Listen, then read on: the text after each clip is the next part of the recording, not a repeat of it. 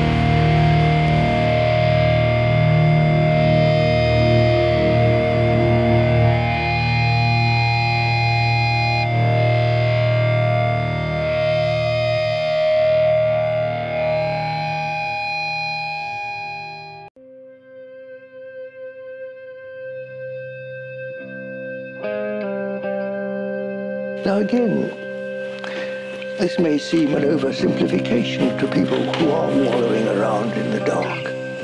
It seems almost too simple. Well, might be. We will have to go through this. God knows I have. So I still have moments and days of darkness. But, uh, you know, darkness does pass. It's a, hugely significant thing, whether we live in light or in the darkness. What about all the dreadful things? Actually, it was the time of the Vietnam War. And then he said, Arthur gave such a simple answer.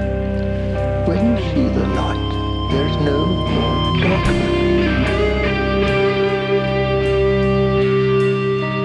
And now I'm able to say that myself.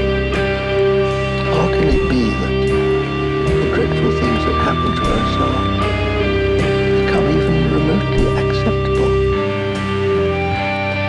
Now, perhaps one's perception of what is real begins to fray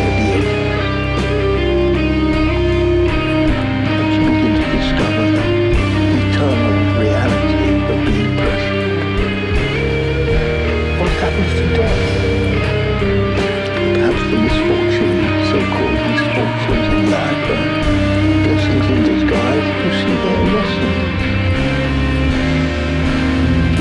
finger.